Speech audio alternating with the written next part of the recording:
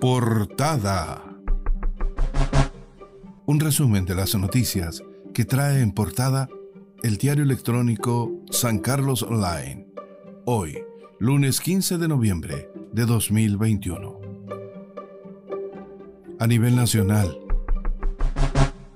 la oposición reitera llamado a votar proyecto antes de las elecciones, cuarto retiro del 10% de las AFP. Tras el rechazo del Senado a la idea de legislar la propuesta, los esfuerzos de un grupo de parlamentarios se centran en cerrar el debate legislativo de la enmienda durante esta semana. Marcos y Vaca, del Partido Socialista, entregó su disponibilidad absoluta a discutir el día y la hora que sea, mientras que Cristian Lavé cree que se le incorporarán indicaciones para que el proceso se alargue. Ahora revisamos noticias del ámbito local. Vecinos denuncian matanza de mascotas en Villa Visión Mundial.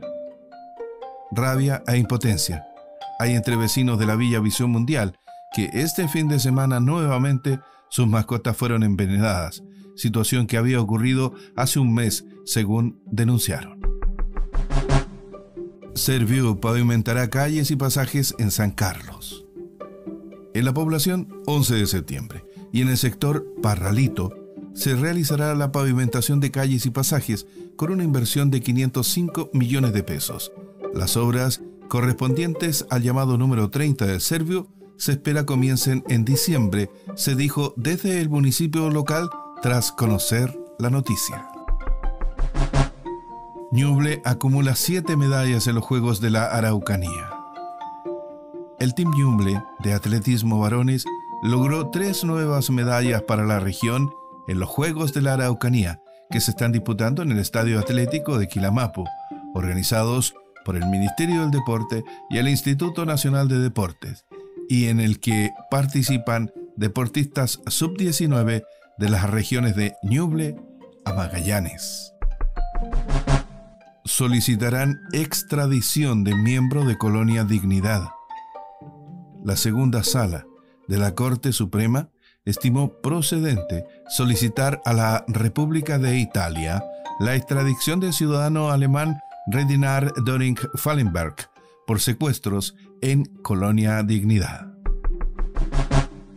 Agroplant Ñuble, reencuentro presencial del agro en Chillán. Los días 17 y 18 de noviembre próximo se llevará a cabo este encuentro internacional que en su sexta versión apuesta por el retorno de las actividades presenciales del agro, protagonizada por los viveros en la región de Ñuble, Agroplant Ñuble. Anuncian para este lunes llamado a licitación de auditoría externa, una de las promesas de la campaña del actual alcalde de Chillán, Camilo Benavente, fue la de realizar una auditoría para conocer el real estado financiero de la municipalidad. Además de ciertos detalles que a juicio suyo y del actual Consejo no han quedado lo suficientemente claros respecto a pasadas licitaciones y contratos. Portada. Fue un resumen de las noticias que trae en portada el diario electrónico San Carlos Online, hoy lunes 15 de noviembre de 2021.